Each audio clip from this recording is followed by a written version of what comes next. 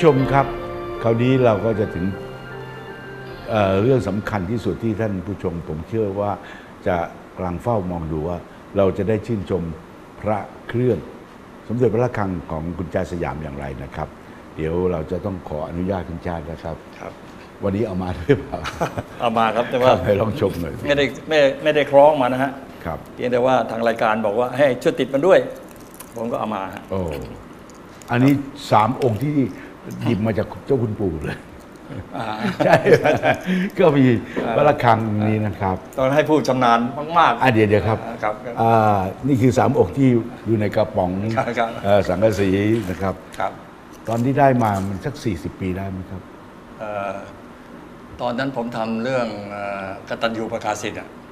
โอ้ก็3 40ปีครันะครัฮะนานแล้วอ่กตัญญูประกาศิทธิ์นี่เริ่มที่ผมจะเริ่มมาสนใจพระเครื่อง เพราะว่าเพราะอะไรครับเพราะว่าอื มมันมีนักแสดงประกอบอะเรื่องไงครับ มันก็คล้องพระ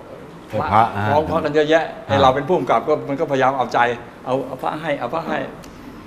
สมัยนั้นเอ้ยในในกล่องหน้าให้ด้วยเหรอฮะไม่ไม่ใช่ฮะโอ้โหคือคือคือเอาพระให้เอาพระให้ ผมก็ได้มาเท่าไหร่ก็ไปเรียกหมด เก๊ทั้งหมดนะเสร็จแล้วเพราะว่าพอพอเริ่มสนใจปั๊บก็ไปหาคุณย่าไงโอ้เริ่มศึกษามันมันโยงกันนะฮะพอไปหาคุณย่าว่าย่า ผมได้แต่ผ้าแก้มาทั้งนั้นเลยไปเลี่ยมก็เสียค่าทอง คือได้หรอกนะคุณย่าก็บอกอ้าวเอาฉันจะเอานี่คุณปู่เก็บไว้เนี่ยอืมก็เอาไปเออพอเอาคุณไป ย่าคุณปู่ที่อยู่อัมพวาใช่ไหมฮะ กลับกลับแต่ที่แต่นี่ก็เอามาให้พอมาให้ผมก็เลยมีความรู้เอ้ยเอามาดูเพราะพวกบอกโอ้ยพระแท้ทั้งนั้นเลย นั่นแหละครับเป็นเริ่มต้นที่ผมศึกษาพระเครื่องโอ้ ครับจากอันนี้นะครับ สามองค์นี้นะฮะแล้วยังมีเหลืออีกไหมครับต้องไปผมค้นดูครัผบมก็อยากจะศึกษาเหมือนกันนะท่านผู้ชมครับนี่คือสามองค์ที่เราได้พูดตะกี้นี้ว่าคุณแจ๊ดหยิบมาจากในกล่องที่เก็บพระนะครับของคุณปู่เนี่ยองค์แรกนะบาวเล่ไม่ได้เอามานะฮะครับอ่าองค์ที่สองนี่ครับ สมเด็จพระระฆังอะไรครับครับนะฮะเอ่อองค์ที่สามซุ้มก่อองค์นี้ครับนะครับ เดี๋ยวค่อยโฆษณาโฆษส่วนอีกองค์นี้ก็เป็นพระบ้านผมเองครับ ผมอยู่เมืองนนท์นะฮะครับ อันเนี้ยผมยังไม่มีเลย หลวงพี่เอี่ยมวัดสะพานสูง ครับสวยมาก ครับในฐานะที่ผมผมชอบมากครับ เออไม่รังเกียจนะฮะที่จะให้สิ่งนี้กับผม พูดเลยนะอ่าเราจะไม่พูดถึงพระปิตาหลวงพี่เอี่ยม เนื้อเนื้อก็เนื้อผงกันแล้วคุกลักครับ นะครับองค์นี้เขาสจะวยเรียกว่าเนื้อกะลาหรือเปล่า เนื้อเนื้อกะลาใช่ครับนะฮะสวยมากจะไม่พูดเพราะเดี๋ยวจะไปเบี่ยนเบนความสนใจครับนะครับ ครับ ผมจะพูดถึงวัดระฆังองค์นี้ครับพี่นาถอ้าวขอมอบพระพี่นาถพิจารณา เดี๋ยวกล้องจะมาซูมดูนะครับ ศึกษาดูเลยว่า พิมพ์ใหญ่วัดระฆังของคุณแจ๊สสยามที่ได้มาจากเอ่อจะเรียกว่าคุณปู่นะครับ ซึ่งป่านนี้ถ้าจะมีท่านมีอยู่ก็ผมว่าร้อยยี่สิบร้อยสามสิบจะปีร้อยร้อยกว่าแล้วครับอ่าซึ่งก็ร้อยยี่สิบสามปีก็รุ่นทันสมเด็จนะ สมเด็จท่านวัดระฆังก็ประมาณร้อยห้าสิบปี ได้ไหมได้สิครับ ได้ได้ได้เพราะกรุงรัตนโกสินทร์เนี่ยมันสองร้อยกว่าครับปีวัดระฆังรัชกาลที่ห้าก็ประมาณครับโดยประมาณนะครับครับร้อยห้าสิบปี ถ้าท่านมีจักรพันธ์เนี่ยนะเป็นเจ้าด้วยเชื้อเจ้า ครับ ก็คงจะมีความผมใกล้ชิด พระองค์เจ้าทศทศทศทศอะไรสักอย่างเขาจะอ่า อ่าฮะแต่จักรพันธ์นี่เป็นพวกเชื้อพระวงศ์ ครับ เชื่อผม ผมก็สันนิษฐานเอานะ ก่อนที่จะให้พี่นาฏจะดูว่า ถ้าท่านเป็นคนในระยะนั้นน่าจะร้อยสามสิบปี ก็จะทันกับท่านเจ้าคุณสมเด็จพระเจ้าได้โตได้ได้นะอ่าแต่ว่าท่านสมเด็จท่านอาจจะอายุมากแล้วสักเจ็ดแปดสิบนะครับเอ่อท่านจักรพันธ์เนี่ยก็คงจะประมาณทั้งสามสี่สิบครับก็ทันเห็นครับน่าสนใจครับนี่คือที่มาของพระสมเด็จพระระฆังพิมพ์ใหญ่ ของคุณแจสยามที่ได้มาจากตระกูลจักรพันธ์ครับอภินาถครับว่าไปเลยครับ ครับโดยโดยทั่วๆไปนะครับ ครับ ถ้าเราจะดูพระเนี่ย เราก็ดูก่อนว่ารูปร่างลักษณะท่านเป็นยังไงพิมพ์อยู่นะฮะครับ ก็เหมือนกับเราดูเนี่ยนี่คือคนนี้คือ โทษแจดอ่าคุณแจ๊สสยามอ่าคนอื่นจะไม่เหคมืนอนนี้คือคุณสันติ อืมรูปร่างจะบอกว่าเนี่ยคือคุณแจ๊สนี่คือจะไม่มีมีทางเหมือนกันเลย ครับดูเสร็จขณะเนี้ยอาจจะ ปิดบังบ้าง ขออนุญาตเปิด อะเชิญเลยครับ เปิดนะระวังนะ ระวังหลุดแล้วหักมันจะกลายก็ถ้าเพื่อนหลุดแล้วมีปัญหาอะไรจะไปปรับที่บ้านได้ ถ้าแตกเป็นสองก็ครึ่งหนึ่งของพี่เล็กครึ่งหนึ่งของผมผมว่าก็พระติคุณเล็กมาบ้างเพราะว่าคุณเล็กมีพระเยอะที่บ้านเนี่ยแกมีหมายตายเยอะถ้าแตกนี่บอกเอาไปเลยเอาไปเลยเดี๋ยวผมไปเลือกเองที่บ้านเนี่ยโอ้พี่ยากจริงเลยอะไม่เราไม่ได้เอาใส่ครีมมาขนาดไหนเนี่ย นี่นี่ว่า ดึงดึงนิดให้นึเจ้างของเขาดึงเอง อ่าหรือท่านจะไม่ให้ไม่ให้ชม ต้องให้ท่านชมดิครับค่อยนี่คุณแจ๊ดครับใส่เป็นพวงนี้ไม่กลัวหายทั้งพวงเลยเอ่อผมทำเป็นเงินนะฮะ เพราะถ้าเป็นทองเนี่ยโดนตีหัวอ่าๆเนี่ยครับเราสมเด็จพระคังพอเห็นพิมพ์ปั๊บสิริละเนี่ยมันต้องควักครับ กล้องเลยนะครับ ควักควักครึ่งก็มืสอ รมครึ่งมือครึ่งมือ แต่เครื่องมือนี่สมัยใหม่หน่อยนะอ่า ไม่เหมือนสมัยก่อนครับ เออ ๆคือองค์นี้องค์นี้ดูถ้าเกิดเป็นนักเลงพระก็บอกแหมน่ารักดูง่าย ผมเห็นเมื่อกี้นะดูง่ายดูง่ายน่ารักนะครับครับ นี่เขาเรียกพิมพ์ใหญ่ พิมพ์ใหญ่ พิมพ์ใหญ่นะครับหรือเรียกพิมพ์นิดใหญ่นิยม อืม บางคนก็สามชั้นฐานสามชั้น ครับ คือพิมพ์ใหญ่เนี่ยโอ้โหจำแนกออกไปประมาณ 17 17 แม่พิมพ์เฉพาะครับพิมพ์ใหญ่เฉพาะพิมพ์ใหญ่นะครับแม่พิมพ์ แต่ว่าผ้าสมเด็จพระระฆังเนี่ยพิมพ์ใหญ่ถือว่าเป็นเอกอุเลยนะครับครับเขาเขาลว่าองอย่างนั้นมาจะเป็นเจดีย์ใช่ไหมคือครับ นี้คำว่าพิมพ์ใหญ่เนี่ย จริงๆเราดูในสรีระเนี่ย ท่านมาจากสุโขทัยศิลปะสุโขสุโขทัยทัยมาเป็น ดูตรงไหนพะพุทธรูปดูตรงไหนอ๋อความพระรูปยืดบูชาความตรงเนี่ยฮะครับตรงสง่าพอไปทรงเจดีย์เนี่ยอะย่อมาจากทรงเจดีย์หรือเกศประตูมเนี่ยอะพระชิงแสนอ๋อเหรอครับอ่าเป็นโต้ๆเข้ามาหน่อยเขาจะต้องครับเข้ามาอย่างนี้นะเขาเป็นพวกขานแซมหันแซมเป็นยังไงเขาเป็นพระอู่ทองโอ้ฉันนี่มันยุรู้คเล็กอ๋ออ๋อคือช่างนี่เขาจินตนาการมาแล้วครับใส่ใส่ไว้ใน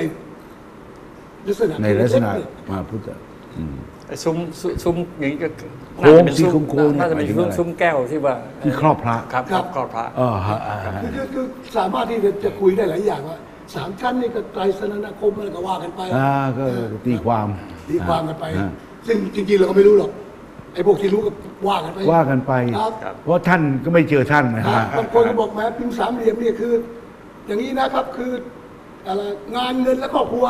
จะรู้คิดจริงๆขึ้นมานะฮะคิดคิดขึ้นเอมาเองงคิดมันมามโนไปเองมโนกันเองแล้วครับใช่เอาง่ายๆดีกว่าว่านี่คือสี่สี่เหลี่ยมชิ้นฟัก ชินฟักอ่าใช่ เพราะว่าชินฟักโบราณเป็นอครัย่าบงนี้ขเลนายดนี้แล้วก็เป็นพิมพ์ใหญ่นิยม ครับผมคนนี้ชอบพิมพ์ใหญ่เพราะอะไรเพราะใหญ่คำมันก็เป็นมงคลแล้วใหญ่เจดีย์ก็หมายว่าดี ถ้าเปิดให้ดีๆก็ได้ใหญ่ดี อ่าเส้นได้ อ่าเส้นได้ก็ใหญ่และดี อ่าได้ใหญ่จะได้ดีสามองค์นี่อ่าว่าต้องยิ่งใหญ่จแหม่ริต้องงนี้ นี่คือดูทั่วๆไปแล้วนะครับพระเขาจะมียุบยับแยกย่นๆอ่าอ่า แน่ยุบนี่ย่อยหมดเลยยุบนี่คือยับแยกนี่คือเอ่อย่นนักเลงพระบางเขาท่าจะนเรียกเขากำหนดไว้อ่ายุบคืออะไรแยกย่นยุบคืออะไรการยุบตัวนะครับของ พระโบราณนี่เมื่อพิมพ์ออกมาแล้วเนี่ยนะครับพอเวลาแห้งเนี่ยก็จะยุบลง ยุบลงไป ยุบลงไปฮะพอยุบเสร็จแล้วก็เห็นเนี่ยเส้นแยก เส้นข้างๆเนี่ยครับ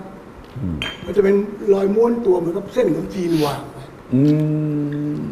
ยุบยุบ แยกก็คือปแยลีกเนี่ยปลีเนี่ยปลีออกมาจะเป็นแยก ปลีเพราะการที่แตกของเนื้อเองหรือว่าของรักที่ไปคลุม ครับ แยกก็มีรอยที่ แยกคือธรรมชาติเห็นไหมก็มีรอยแยกใหญ่แล้วตำนานที่เขาว่าเวลาซุ้มนี่ต้องมีขมวดเข้าไปเนี่ยมันหดตัวยุบตัว ๆก็นี่ไงครับคือยุบไงครับยุบเนี่ยซุ้มถ้าเราดูมุมทะแยงเนี่ยครับ นะครับจะเห็นรอยม้วนตัวเข้าไปแต่พระสังเกตในส่วนใหญ่แล้ว ม้วนข้างจะไม่ม้วนข้างเพราะว่าใช่เวลากดกดเวลากดกกดดกดหนักแม่พิมเบาพ์กดแม่พิมพ์กดแม่พิมพ์หนักเบาอืม นะครับ แต่อันเนี้ยเราดูโดยโดยข้างหน้าแล้วเนี่ย โอเคอืมโอเคแต่ให้ดูหมายจถึริงว่าก็ดูหลังและข้าง เอาว่า หลังและข้างเดี๋ยวจะถอดดูหลังได้ไหม ก็ก็ได้ครับ ได้ก็ต้องระมัดระวังนิดนึงดูหลัง เชิญเชิญเจ้าของถอด เพราะนี่เราเห็นผมแค่หผมน้าผมต้องใส่ใส่แว่นเหมือนกันนะอาวุธเสริมเชิญเชิญแล้วก็อ่าเอาจะขอดูหลังนะครับ ว่าเราจะสังเกตหลังอย่างไรตะกี้เราพูดจากด้านหน้าแล้วนะครับแหมผมเอ่อค่อยๆนะพี่ไม่ได้เอาสำลีมา โอ้เราจะดูหลังแล้ว เดี๋ยวดูข้างด้วยครันะครับบเดี๋ยวเอาหลังก่อน ปั๊บหลังปั๊บเราเราจับพระเลยครับเป็นยังไงจะดูพระจะตึงมือตึงตึงตึงมือคือน้ำหนักมีน้ำหนักนะ นะแต่ว่าไม่ใช่หมายความว่าถ้าพระเบาเราจะเกนะไม่ใช่ครับ ครับความตึงๆมีมีอืมอืมบางคนบอกให้ยตึงยังไงวะถ้านักกล้ามมันจะตึงไหมใช่ใช่มันก็ไม่ตึงครับดังนั้นจริงๆพระสมเด็จวัดระฆังเนี่ยพิมพ์ใหญ่เนี่ย ถ้าเราช่างเนี่ยช่างแต่ช่างทองฮะเจ็ดถึงเก้ากรัมครับผมเจ็ดถึงเก้ากรัมครับครับแล้วเนี่ยเมื่อเราส่องดูแล้วเราจะเห็นนะครับ เนี่ย ด้านข้างก็เหมือด้านข้างเป็นเหมือนรอยตอกตัดอ๋อตอกตัดนะเขานะว่าครับเขาเขาว่าอย่างนั้น ว่าพอพิมพ์เสร็จแล้วต้องเอาตอกตัดนะ บางคนก็บอกมีของมีคมตัด อืม ซึ่งตรงนี้แล้วเนี่ยเราเราเองคิดกันไปเองอืม ว่าตอกตัดหรืออะไรตัดอืม ต้องเฉือนอย่างนั้นต้องเฉือนนี้ อืมพระตัดเนี่ยครับ พระท่านไม่ได้สร้างวันเดียวจบอืมท่านสร้างมาเป็นทุกแทบทุกทุกทุกเดือนทุกวันหาทุกวัน ครับดังนั้นไอ้ตรงที่มีเล็เรากๆตัดเนี่ยมันก็อาจจะเหมือนกันบ้างไม่เหมือนกันบ้างฮะอาจจะ แต่สรุปแล้วส่วนใหญ่แล้ว ถือเป็นบรรทัดฐานว่าต้องตอกตัดบอกคือให้คมออกมา ครับอ่า พอดูด้านหลัง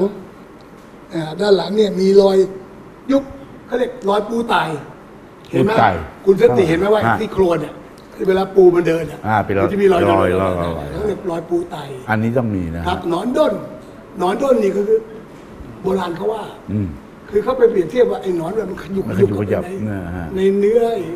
ต่างๆก็เป็นรอยขยุกขยี้ก็คือสรุปแล้วคือ หลังจะไม่เรียบทีเดียว จะไม่เรียบ จะมีรอยคลื่นจะมีรอยยุบแยกอ่า นะครับแต่พระอย่างเงี้ยเขาเรียกพระดูง่าย อืมผมว่าดู พระพันตาฮะ นะครับเดี๋ยวแต่ถ้าเผื่อสมมพระติพันตา พระพันตาคือหมายความว่าพันคนก็บอกแท้เว้ยอ๋อ พันตาแท้เลยก็ได้เออพันตาแท้ ถ้าพระตาเดียวกับมึงเล่นคนเดียวดิเออเอออย่างเงี้ยเรานะครับ เราขอเลือกเป็นพระพันตาดีกว่า อ่าพันตาอันนี้พันตาเพื่ออธิบายเนี่ยไม่ใช่หมายความว่าพระพระอย่างเนี้ยนะครับโทษพระนะอ่า หลังเรียบเฉยๆเนี่ยเกย์ไหมไม่เกย์ครับ ก็มีเขาเรียกหลังแบบทื่ออืม เพราะหลังทื่อคือกดและปาด เวลาช่างพิมพ์พิมพ์นะฮะถ้ากดแล้วปาดเป็นมันก็จะเรียบไปเลยนะครับ บางคนก็มีหลังเหมือนรอยอ่าเสี้ยนเสี้ยนๆอืมเขาเอากลับมาไปวางทับไปมันกลับมาอ่ารอยไม้กระดานอืมว่ากันเข้าไปแล้วรอยสังขยาอะไรเงี้ยสังขยาก็ยุบๆคือคือคุณเคยเห็น ผู้ต้องรู้สิไปช้อยเนี่ยเขากินสังขยากันเนื้อหน้ามันหน้าสังขยาเป็นมันคุยุกบคุกยุบยุบยุบนะครับอย่างนั้นแหละมันเหมือนครับสังขยาอืมดังนั้นหลังด้านพระสมเด็จวัดระฆังแยกเอาไว้ครับหนึ่งข้างปรีข้างปริเดี๋ยวดูอ่าเลยผมก็เห็นว่ามันปริอ่ามข้าองงปรีด้วยสายตาเนี่ยปริเขาจะชอบมากอ่าสมัยนี้ถ้าข้างปรีบอกไอ้จะดีแท้เลยอืมนะครับข้างปรีอืมนะครับ หลังสังขยา หลังสังขยา หลังกลับหลัมางกลับมา หลังกระดานอืม นะครับ อันนี้ลองดูที่เขาว่าหลังอะไร อันนี้อันนี้อันนี้ถ้าเกิดดูจริง ๆ แล้วเนี่ยครับ จะเป็นหลังคล้ายๆกับ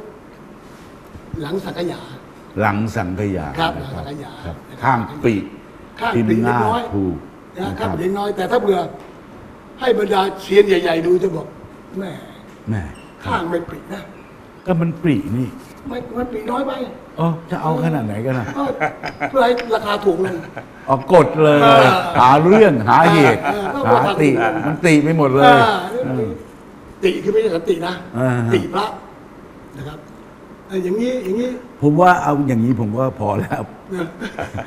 มันจะแตกหรือจะปรีแค่นี้ผมว่าถ้าเขางานปลูกแล้วก็สวยแล้วคืออหลังเป็นธรรมชาติก็แล้วกันธรรมชาติเอาไว้ว่าที่มาผมของผมได้จากคุณปู่ผมก็อารัธนาขึ้นเอาคอพี่พี่บางคนมันบอกว่าที่มาไม่จะเป็นดูของอ่ามันก็จริงนะ ก็ว่ากันไปอ่าเพราะที่มาเนี่ยพี่บางทีเป็นเป็นนิยายอะมันเหมือนกับบางทีเชื่อได้ไม่เชื่อได้อ่า แต่ว่าผมไม่เชื่อพี่แจ๊คอืมเพราะแรกแต่กันแต่ แรกกันมันประมาณร้อยกว่าครั้งแต่องค์นี้แลกกันไม่บ่อย แต่องค์นี้ไม่ได้แรกใช่ไหมไม่เป็นไรไม่องค์องค์นี้ก็อาจจะแรกทีหลังอาจจะทีหลัง อาจจะเจ็บงานเรื่องแรกครับ ก็ได้ ผมว่าก็ได้ความรู้แต่ว่าขออีกนิดนะครับอ่าพี่เล็ก ครับ เนื้อสีเนี่ยสีอะไรครับ เนื้อเนี่ยเขาเรียกเนื้อขาวอมเหลือง นั่นแหละสิคเนื้รัอบ ขาวอมเหลืองเนื้อขาว สมเด็จจะมีนะครับ ขาวจ้วะครับขาวอมเหลืองครับเหลืองเข้ม ครับ สีเอ่อเขาเรียกอะไรนะ พิกุลแห้งอ่าฮะนะครับ แล้วก็สีออกช็อกโกแลต ใช่ แต่ผมมองอันนี้เนื้อแห้งนะฮะแห้ง บางทีวัละครั้งที่ผมเห็นเนี่ยบางทีเนื้อหนึกนุ่ม ครับ เนื้อมันก็ที่เขาบอกว่าเอ่อขนมเอ่อของคนจีนนะฮะครับขนม ผมเอ่ออะไรตับหรือเปล่าตับตุ๊บตันะบอันนั้นเนื้อจะฉ่อันนี้ก็หนึบนุ่มนะครับำอ๋อเหรอฮะ แต่เฉพาะที่คุณสติเห็นขาวๆนี่ก็เพราะว่าพระแห้งแล้วก็มีฝ้าฝ้าคราบแป้งเนี่ยขึ้นมา อ๋อ ก็ดูทำเป็นขาวแต่ดูจริง ๆ แล้วเมื่อใช้ต้องเอากล้องส่องช่วย ส่องดูเนี่ยจะเห็นเนื้อหนึกนุ่มเลยเนื้อหนึบนุ่มใน เอาละครับ คัดต่อไปเราจะคุยเรื่องราวที่น่าสนใจ เพิ่มเติมนะครับ อย่าลุกจากที่ไปไหนนะครับ นี่แหละครับ นาน ๆ ท่านผู้ชมจะได้ความรู้เรื่องพระสมเด็จวรคังอย่างอย่างถูกต้องเสียทีครับ ขอบพระคุณครับ